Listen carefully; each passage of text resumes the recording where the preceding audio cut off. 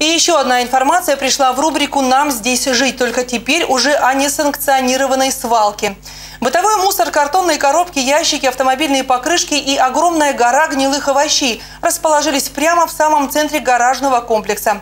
Люди предполагают, что эти отходы попали сюда из близлежащих магазинов. И через рубрику «Нам здесь жить» надеются призвать тех, кто сделал это к совести и ответственности. Отмечу, на этой территории установлены сразу три мусорных контейнера, и они тоже переполнены. По всей видимости, мусор отсюда давно не вывозят.